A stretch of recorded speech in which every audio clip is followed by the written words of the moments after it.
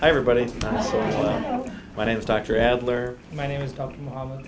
and we're both uh, third-year residents in the internal medicine uh, residency program at uh, Marshfield, and uh, falls is the topic um, today. I think that in general, uh, when I've done these talks in the past, uh, um, it being like an, a discussion and uh, open for questions has been uh, has been a nice way to do them instead of just uh, you know talking about the topic and expecting silence and it's it, it makes it more interactive, more interesting. I think if you, if uh, you know feel free to interrupt us and ask questions at any point in time or anything. So I think I was just going to start uh, maybe with uh, a broad overview of falls and maybe some of the things that cause falls and and uh, we'll we'll kind of go from there. So uh, falling in general is uh, is not a normal thing. Um, it's something that uh, usually happens as an accident as you as you go up in age, um, and uh, it, you have a higher uh, possibility of having a fall later on um, in life for a, a number of reasons. Um, and sometimes it's hard to find one particular reason. Oftentimes it's uh, it's one thing here and one thing there. These two things together that uh, that, that kind of cause your normal, you know, learned uh, behaviors to fail. So uh, there's a lot of different uh, um, compensatory things that the body's able to do um, if one thing were to were to go bad. So say that your eyesight starts going down a bit, you know, your ability to, to feel and hear and uh, your, your, your knowing of that you're upright tends to compensate for that somewhat. So it's when it's when you have two or three things uh, go wrong that you start having a, a, more of a chance for a fall. So not only is your sight a problem, but then also maybe you're starting to have hearing problems, and with the ear, uh, that helps uh, let you know that you're upright or that you're off to the side. And so those two things together kind of weaken your your body's ability to know how it's positioned, and then you know you can have a fall happen. Um, so it's usually not just one thing, but uh, maybe Dr. Isak will talk a little bit more uh, on the prevention side of things on how we can we can try and and uh, make up for some of those those deficits. So as you age, uh, your body naturally uh, sort of loses its ability to, to do a lot of things, and it's just part of the aging process. Your, um, uh, we actually have Dr. Raymond here, um, our, our uh, program director actually for internal medicine. so as you age, um, you you, you naturally have a decrease in your uh, in your reflexes. Uh, you'll have a decrease in your uh, in your muscle strength. Uh, that's sometimes just from uh, you know sedentary lifestyle, uh, not doing the same activities you did once you were younger. Um, your heart and lungs might not necessarily be working as they were when when you were younger, and then that might mean that you're not walking as much and other things. And so um, you know you can you can physically become weaker than what you once were, and and that makes uh, uh, makes it harder uh, to recover from maybe you kind of got knocked off balance a bit or something like that, and harder for you to to be able to regain your balance, and um, and, and that sort of just keeps kind of progressively declining as you as you age. Um, then I already mentioned the vision and the hearing uh, that can all decline as well with age. Um, uh, some other things that can kind of sneak up on individuals would be uh, some vitamin and nutrient uh, uh, deficiencies and uh, just general decline in nutrition. It's been fairly well shown that that as you get older, your ability to taste is not quite what it once was, and foods that you might have enjoyed are not necessarily as enjoyable anymore. And uh, you might not eat on a regular basis, and that can lead to weight loss and uh, other things on its own. So, uh, like just kind of to, to recap on what I've said, it's a lot of different factors that can all play a role into into falling, and it's usually not just one thing. it's usually taking a pick from a few of these things, and all together, it uh, has an increased risk. And we, we as a, a, medical profession have, have identified that falls are a, a bad thing in general. I'm sure many of you have uh, you know, family member or friends or maybe even yourselves who have, uh, have fallen or maybe and, and had a poor outcome from it. Uh, sometimes you can fall and and you don't hurt yourself, and then you just don't even think that it was a big deal. But uh, it's sort of a warning sign that uh, maybe you have a couple of, uh, of uh, the normal defense mechanisms of the body are impaired and that you're at risk for another fall in, in, in the future. Uh, the things that we really worry about uh, with, with falling is, is an injury that could happen. particular hip fractures are, are known to be a pretty large, um, uh, a pretty significant event in, in somebody's life in which they can uh, go from being fairly independent at home or, or wherever they were uh, to uh, uh, maybe needing to have uh, nursing facility and care after that. because It can be a long recovery process. So we try and, and identify these things early so that we can take whatever corrective steps uh, to try and help out the help out the individual to prevent the fall from happening. And uh, um, you know, sometimes it's not completely avoidable, but uh, um, but uh, that's that's sort of uh, that's sort of the thought process. Uh, Dr. Adler pretty much covered what are the most common things that lead to the fall. Um, the most common risk factor is as you age. Uh, he mentioned that we lose our reflexes. The other thing is with age, um, the the ailment kind of uh, worsens, the number of conditions related to the health also kind of get more and more. Some patients develop uh, hypertension, diabetes, and uh, nutritional deficiencies, deconditioning due to lack of much activity. So all that cumulatively leads to the uh, falls. In addressing falls, um, what we should focus on is being a physician, what um, we most often see is there are a number of medications uh, which can, uh, particularly uh, medications which help you sleep and uh, some other medication, they can impair your sense of balance uh, and also they can make you loopy and that um, adds to the uh, additional risk of fall. So if you have experienced a fall or if you have experienced what we call as dizziness, um, then when you go to your doctor, you should bring up these things that uh, your balance is, you have seen that your balance is kind of declining, uh, or you have experienced this fall, so that your doctor can screen you for the risk factors that you have for the fall, and this can be addressed earlier than later. As Dr. Adler was mentioning, what we are concerned about, uh, about falls is maybe sometimes it does not lead to injury, but when the injury happens, it leads to debilitation, it leads to disability, a lack of functioning, and uh, if we address it earlier, then we can uh, prevent those falls.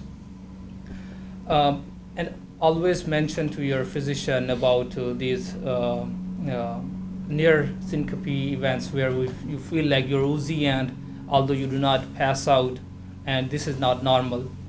Um, and even if you experience a fall, which you uh, to, to you might be something insignificant, but your uh, provider uh, can screen you for the risk factors that can lead to some serious fall and injury.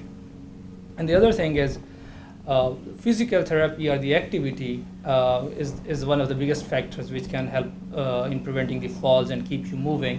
So keep on moving. That's why uh, that's how you will not lose your muscle tone. That's how you will maintain your strength, and it will help you.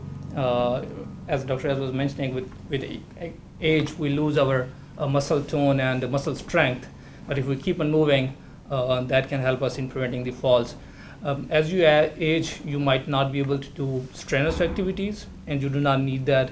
But some uh, light exercises, like just a regular walk or uh, water exercises, that can uh, help in maintaining the muscle strength and and the balance even things like uh, Tai Chi classes or, or aerobic and yoga classes. There's, there's actually been some good data, uh, some, some studies that we, uh, that, that, that have shown that there's been a pretty good benefit uh, with individuals who have uh, gone to Tai Chi classes, for instance, and that were designed to help with fall prevention. So, so uh, keep in mind things like that. You don't have to go and, uh, and like, like lift weights and uh, do stuff like that. There's plenty of uh, stuff that you can do that's a little less impact, but can have a big impact on your, um, your potential falls in the next, you know, years to come.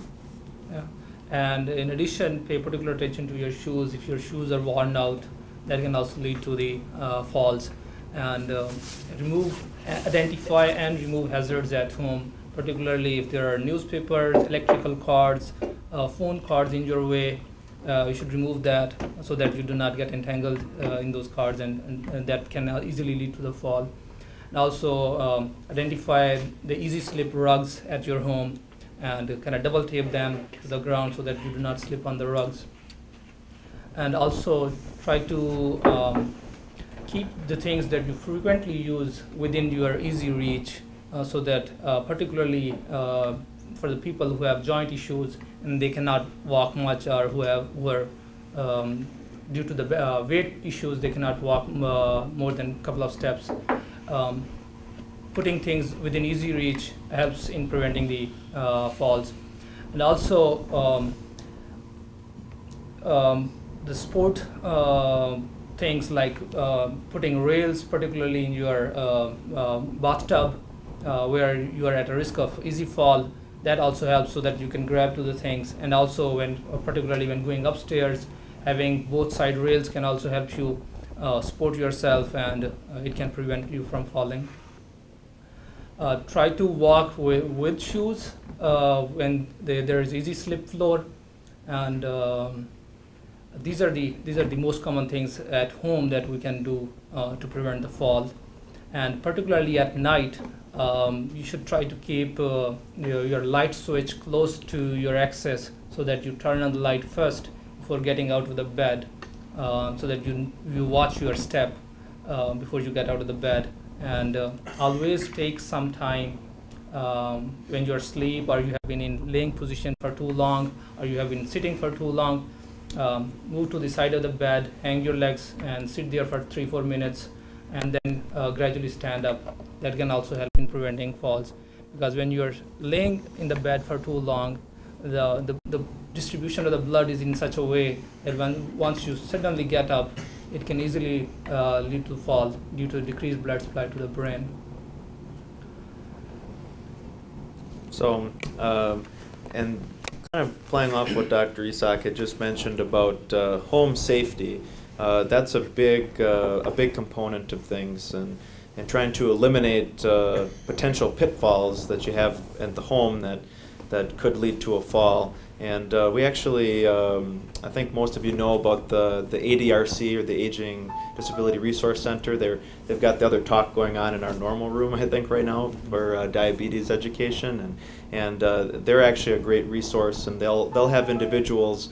I think uh, uh, from uh, multidisciplinary individuals, so occupational therapists and physical therapists and things like that, that can come into the home and, and assess uh, it for safety, like where the potential areas of problem are. Like there's a series of three steps leading to the back door that doesn't have a hand railing, and they're narrow steps, or that this is a particularly steep or narrow uh, staircase leading to the basement, and things like that, and, and uh, can come and help troubleshoot ways that that you can.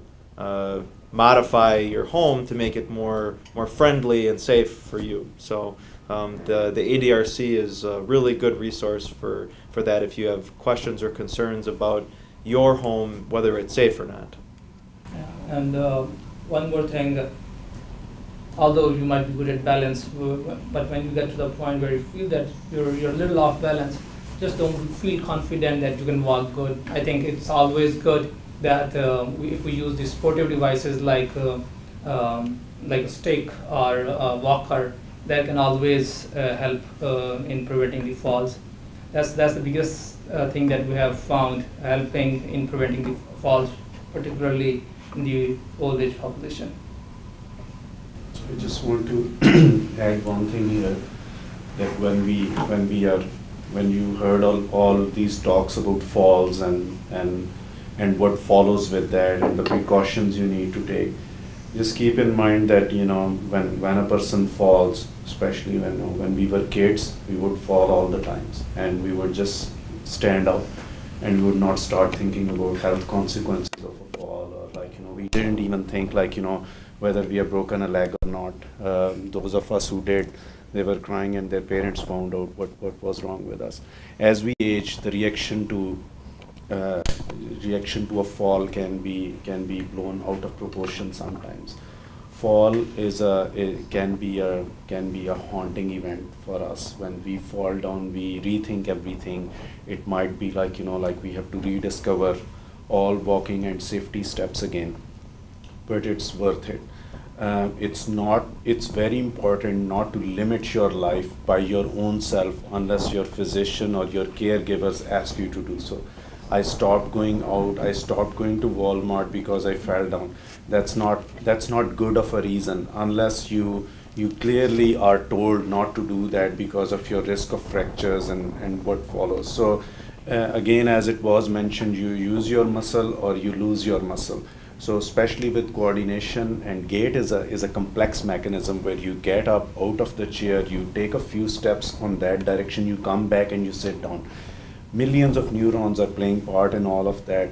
Many areas of your brain are involved, and that coordination is something that you learn. We were not born with that, right? We, we just learned how to do that, and then we are we were good with it for for rest of our lives.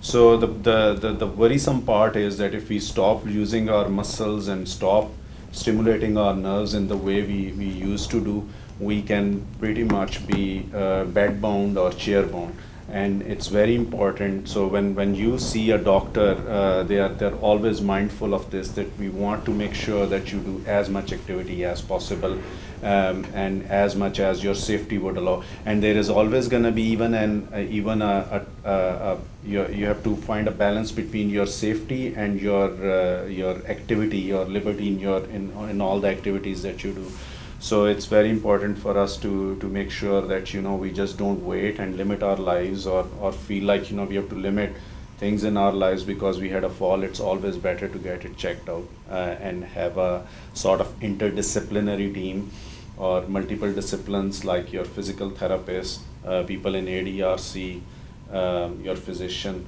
There should be an interplay of things that you should utilize as, a, as your resource. And you are responsible you fell down. So if you fell down, you are the one who is responsible to make sure that you utilize maximum resources from everyone.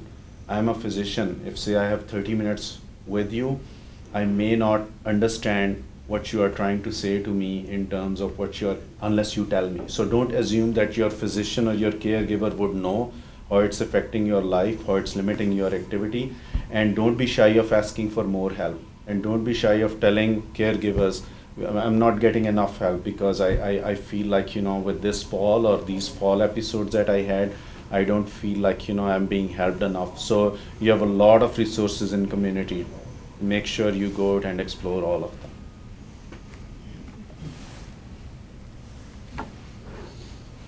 So, uh, does anybody have any particular questions? That was actually quite a lot of of information. I'm sure people. Uh, yeah, I'm wondering, uh, are any of the supplements like glucosamine and chondroitin helpful to your muscles and, and bones and stuff to help keep them stronger as well?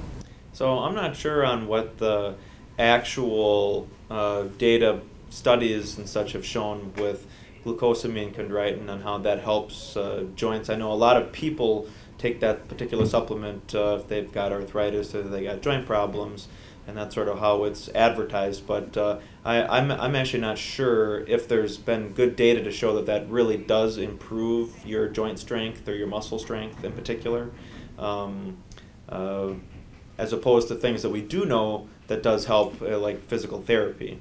Um, so I guess an indirect way to answer your question, I'm not sure uh, about glucosamine chondroitin in particular. Um, but I do know that if you are interested in doing some sort of uh, muscle strengthening or joint strengthening, then probably the best way that we know available right now is physical therapy and to, to try and get a, a, direct uh, uh, involvement with a physical therapist and they can work with you on particular joint areas that might be a problem and, uh, and, and work on overcoming the particular problems that you might have. Uh, that, that'd be my recommendation. Al- Along with that, then can a person just get a, do you have to have a referral to go to physical therapy? Or can you, um, you know, just ask on your own? So I, I think you actually are able to, uh, to, to talk to individual physical therapists' uh, offices on your own. I'm not sure how that works with insurance coverage. So uh, most of the time when I'm seeing patients in the clinic and I'm referring over to physical therapy, I, I mean maybe you know more about that than I than I do in particular, Dr. Raymond. But um, but when when somebody comes to me and asks if they want physical therapy, I almost will never say no. There's it's usually a, a, a good reason and it's a very easy process on our end to, to, to put a referral through. So if you even have a question whether it's going to be a problem with insurance or not, then I would just talk to your primary doctor and say, hey, I think I might need physical therapy for X reason, and, and they'd be more than happy, I would think, to, to, to help try and, uh, and get you set up with, uh, with an official referral if that's what needs to happen. Um, And along with that, I just want to say, um, I really appreciate you all being here and giving us this information. We have so many resources that we're so fortunate to have, this whole senior center. Um, most of us were in a yoga class right before we Okay. came here, and it has made such a difference in my feeling of more strength and flexibility, and it's gentle yoga. You know, it's geared to us because none of us are getting any younger, and, you know, you guys will get there someday. If we're lucky. a, a uh, point of view of a sixty-four-year-old, I mean, you know, you just think you got so much time, all of a sudden you're there, and you hear so much negative about, you know, what can happen, you're getting older, this and that. And so you do have to take it upon yourself to just decide, um, and I think another thing is positive thinking, because you can get very down, just thinking you're just gonna slide down from here, you know, you gotta stay up and keep trying to, you know, just get the optimum Yes, life. keep moving. Mhm. Yeah. And even if it's like a little my thing. truck. Yes, keep moving. And I would say before, we, sorry, you wanted to say something? I just would, did you? Go ahead. So I would say that, you know, keep moving is, is, is a very important thing before we, we are dealing with all these falls and troubles related to that. Those people who are active, they live longer. We all know that. Like, you know, those who sit around, even those who exercise a lot, but for rest of their time, they're sitting and on the couch and watching TV. Those guys are not doing any favor to them as much as themselves as much as people who are active all the time. So you count it like within like you know 10,000 steps, making sure you are taking a, um, a walk every hour or so, and making sure you are you are taking and moving around.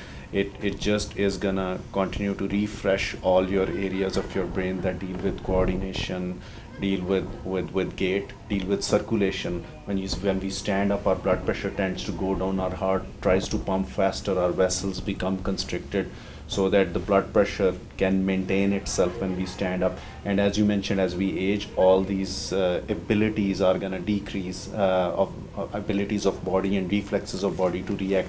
So it's not only reflexes as we as we see as we get up and walk that are important. It's stuff which is happening inside our body as well. But I would tell you that you know, in 60s, I have seen people in their unfortunately even in their 20s or 30s which are a lot sicker than people in their 60s. That's the dilemma of, of us today. Uh, but I would say like you know, if you are healthy, if you can, try to participate in these activities as your body can handle. As you mentioned, gentle yoga, you know, as much as you can handle or your body can handle, it's it's just really worth it of an investment. Well, I know there's one gal in our class who's got Parkinson's, and she said it's really helped her balance. It's a lot. good.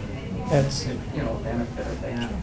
what I like is just kind of the camaraderie too, you know, just other people like you, because it's so, if you would just be at home, you wouldn't probably tend, I mean, it, it seems like you could probably get more down about it, and keeping a good attitude is important, and Mhm. just feeling like other people are, you know, we have a little chit chat time, and, you know, it's all good, we kind of support each other, and it's very helpful. And I know when I had a knee replacement, that physical therapy was just key. Mhm. And it was so helpful, and I kept going at it. I just kind of, that's why we went, before we came in here, to just um, do the pedaling and um, just to keep that going. You know, just because it's so much time after surgery doesn't mean you can just stop then. And I wanted to ask a question. I heard somewhere that sometimes, because you hear about hip fractures so often in um, more elderly people, that actually the hip fractures first and then the fall, and that's all to do with nutrition or calcium or whatever. Is that true? So as we age, our bones become weaker, and it's a very standard practice to screen everybody for weak bones, uh, anybody who is above 60. And particularly, the, this situation is more common in, in, uh, women just because of the hormonal balance. Um, and having weak bones with age puts you at a higher risk of fracture. So fall happens first, and then fracture happens. bones can become so weak that you know sometimes say you you just had to jump or you just had to take one large step and the bone is so brittle that it would break and then a person would fall. So so that is again like you know as the, the bones become brittle that's that's something that can happen. So uh, you, someone mentioned about supplements. So there are supplements which are uh, i just want to touch on that subject. If it is helping you we usually avoid saying don't use it. It's it's it's of no use. Because you know i would tell you there might be i might be using supplements at my home. I may have a belief that honey helps me more than other things. So i'm maybe using all that or multivitamins and and and, and other minerals which which i'm not prescribed by any physician but i am using. If they are helping you they they, they and if you have a belief in them uh, they might be benefiting you when we talked about like the core of all of these like you know when we when we, we are purely talking in scientific terms like chondroitin and and and sulfate they, it has been tested in um, in, uh, in, in medical literature uh, scientifically. In those studies it did not show any benefit for joints even and and when you take it orally. And then talking about falls people fall one one thing which we might have touched before i came in pain is sometimes people with real bad pains knee pain back pain pain in of itself can can or medications that you use for pain can can elicit a fall or can can make you in a condition where you are in severe pain you go off balance and you fall. So it's very important to take care of pain. Now supplements some of them that are prescribed to you like calcium or vitamin d. Those are extremely important. Even even if the doctor says like you know find it over the counter and use it take it religiously because they calcium vitamin d they maintain muscle strength and then they also are gonna uh, make sure that your bones are not gonna be in a condition as you mentioned which is gonna predispose you to develop fractures Uh, Another thing that I would like to mention is, uh, thanks to technology, now we have Apple Watches and also Life Alert. If somebody is, a, is at an increased risk of fall, I think um, they should really consider uh, having these gadgets on their body. So uh, if unfortunately they experience a fall, then they can uh, access people and call for help. Uh, and automatically the Life Alert and the, uh, the other gadgets can automatically inform whoever uh, you are have listed in or at least call an emergency and they can get to you. Because we have seen people coming to us who unfortunately fell and they were found like a day later or two days later um, because they could not get up and they could not call somebody for the help. So these sort of gadgets really help in those kind of situations. It might be for somebody you know who is at a risk of frequent falls. I do water exercise, and uh, how does, does that benefit as far as, uh, Mhm. Maintaining the muscle strength and the balance, it does. Yep, and water water exercises are really good uh, for individuals who have uh, joint problems, uh, which regular activities are too painful because it uh, offloads that water offloads all the weight that's put on the joints. So um, yeah, I, I highly recommend uh, uh, water exercises, whether it be you know actually swimming or just like water aerobics, uh, things like that, because it can make a big I uh, think it's big made a difference. big difference with. Yeah, I would I'd keep it up. They have a very good program in Y. I see them. I Mhm. usually go to pool. Yeah, I do, usually do the athletic one. Good, Yeah. excellent. It's uh, arthritic one is uh, see their exercises and they, they do a fantastic job, I think. And you know, I was I was I was listening to a radio show the other day, and they were telling that it's uh, being in water and exercising is better than being on the moon and exercising because water, the gravity factor is, is just gonna be balanced in a way that you can move your joints around and your joints are gonna be more lax. They are gonna there is gonna it, it's gonna enhance space between two joints. So natural areas where you hurt more they can be utilized more. Uh, so you can do more activity and uh, and again low impact less pain after that um, it's more soothing for your muscles and your body in general The, the, the particular class at the, at the Y, uh, just for maybe other uh, individuals in the class here that might not know what time they are, do you know, happen to know what the schedule of that is off the top of your head? Yeah, there's a couple senior uh, exercise classes, uh, Monday, Wednesday, and Friday. Um, One starts at eight-thirty, the arthritic one, and then at nine-fifteen, there's another senior one. And, well, there's a senior one, and, and this is in the therapy pool, so it's at the one pool. and in the morning right In the 8:30. morning, yeah. Well, I think they have other ones sometimes if they have enough interest. Sure. Thank you. Yep, they, I, I really like it. Another thing that people need to think about, and I probably wouldn't have thought about it, except that it just happened yesterday. A lady was coming into Walmart and they had big rugs by the door. And I don't know if it was puckered up some or if it was her shoe that she had on her what, but she got caught on that rug and down she went. and She cut her hand and her knee. Uh, so just kind of keep in mind that if you're, especially as winter comes, you know, there's a lot of people, you know, stores that do put rugs there that, Yes. Remember, you gotta pick up those feet, I guess. Mhm. I think you guys have lived probably longer than, uh, than definitely longer than me in this weather. Uh, I came in 2007, and I still make the same mistakes I used to do when the winter season starts. So let's not not talk about driving and other stuff. But I can tell you that you know one thing that you got to do in winter is it's as simple as that. Both of your hands should be free when you are outside. Don't put them in any coat or don't put them in. And, and it can it just does not in order for a person to fall down just know that it's such a complex mechanism of interplay between your brain and your muscles that you don't need much of disturbance for you to fall down. Even for a healthy person even for a person in their 20s or 30s or 40s people fall down all the times. It's it's about impact of what what it causes on them. So so just make sure in winter weather or whenever you are walking your hands should be free because then you can protect yourself. You can have a better balance. If you're holding something you're gonna see whether and if something is as good as like you know a, a computer that you really like you're gonna think about trying to save that reflexly or you're you so so it's it, it can have an impact on you and then also making sure you are watching your step. You always say watch your step and uh, and it's very important to do that. Uh, I was with my uh, I was coming back from Pakistan on my flight here and my my mom came to uh, airport to see me off.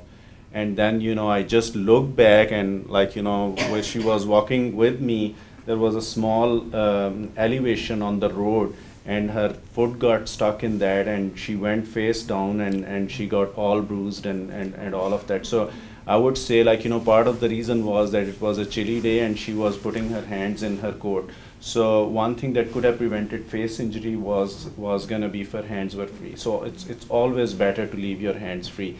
And uh, if it's winter on go there with good pair of gloves so that that your hands are free and outside. If you want to use a bag make sure it's it's on your uh, tied around your arms or shoulders and and is n- you are not holding it in your hand as much as possible Um, exercises, you know, we know for weight loss, muscle tone, strengthening. Does it help with the bone density too? Mhm. Okay. Yep. So- what I thought. swimming in of itself does not have as much impact on bone density as anything that we do when we are doing a weight bearing exercise. So swimming and biking, I think, are less impact, right? Yes. Biking too, right? But any activity like you know fast walks and uh, if you are gonna run marathons, then again you are gonna be at slightly higher risk of losing your bone. But otherwise, any kind of good activity that you do with Like your treadmill. with your yeah, it's it's very good. It does uh, prevent bone loss. Mhm. Especially things to prevent bone loss would be uh, some mild uh, strengthening, weight strength or um, muscle strengthening exercises and and uh, core strengthening.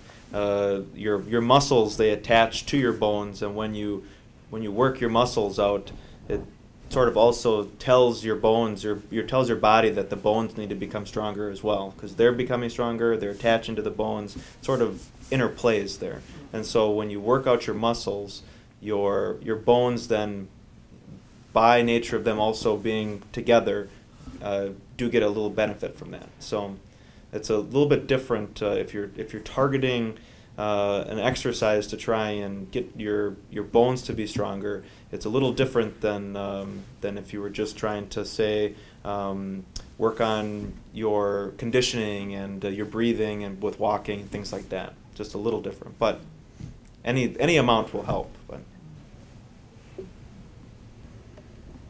any other questions or? Exhausted everybody's And also, when, when you have one more thing, like we already spoke about medications, your prescription medications can very well be a cause of your fall, and they might need adjustment. So, while you are, you might be very good at taking all the medications, when you have these falls and, and, and all these episodes, it's always better to get yourself checked out. So, your physicians uh, will always look at your medications and, and see what could be a cause of that. As we mentioned, blood pressure medication, sleep aids, all of those. Uh, some of them might might be prescribed uh, to you. Some of them might be extremely necessary for you, uh, but they still might need some sort of in, uh, adjustment in their dosing and, and route of administration or timing of administration to prevent uh, fall episodes in future. Yeah, our phys- your physician can also consider some alternative which is not as sedating or as proning to the fall. So it's always good to mention to your uh, physician. hmm Yeah, I mean, um, a dose of a medication for a, for a 45 to 50 year old individual uh, will have a big time different effect uh, on that same person when they're in their 80s, for instance. And it's just the normal aging process and metabolism changing and, and things like that. So uh, you might have been tolerating this medication for a long time for your blood pressure, but just because you're now older than what you once were, that might actually make a big difference. So, yeah.